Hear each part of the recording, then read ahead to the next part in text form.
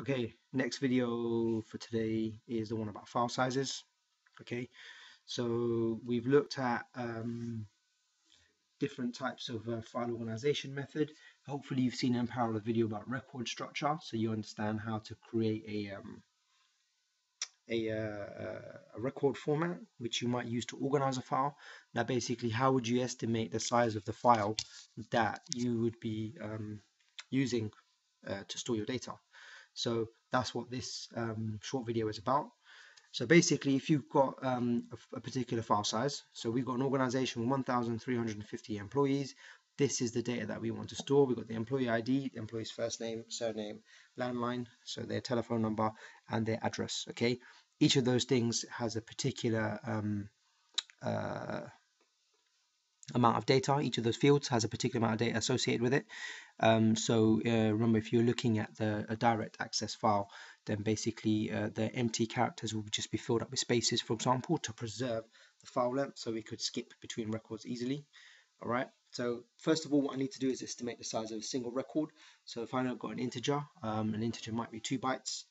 Uh, first name 20 characters. So assuming we're just using ASCII, that's 20 bytes uh, surname 20 bytes again, landline 11 characters. You should know why a telephone number is stored as a string, not as an integer.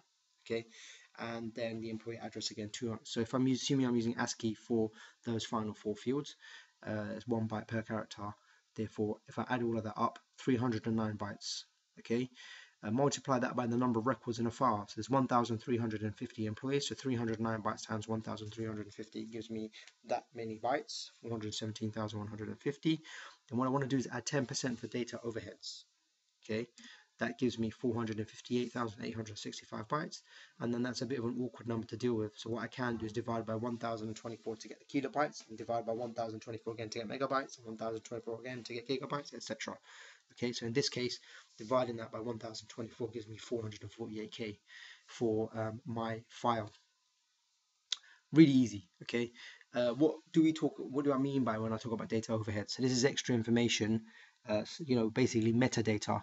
The user might not see it, but other people might be interested in that data for whatever reasons, okay? So it could be details of the last update, file protection information, the author of the file, editor of the file, etc etc etc okay? Any you know metadata basically metadata all right?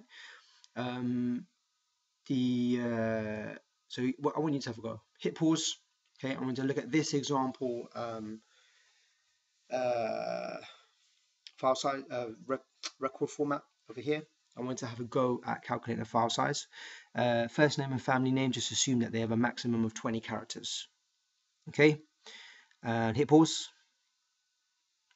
and I'm assuming you hit play again and you want to go check your calculation to see if you've got the same kind of answer as me. So basically these are the data types that I identified.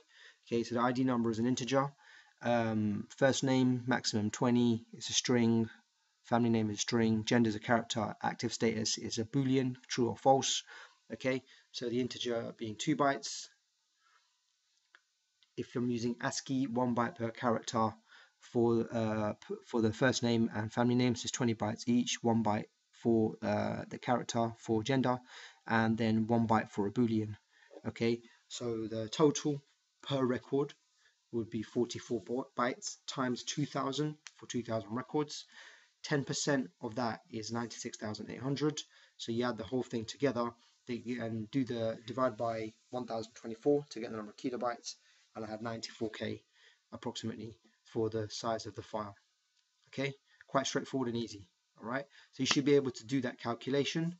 Send uh, so you've got the size per record multiplied by the number of records plus 10% to calculate the file size. All right.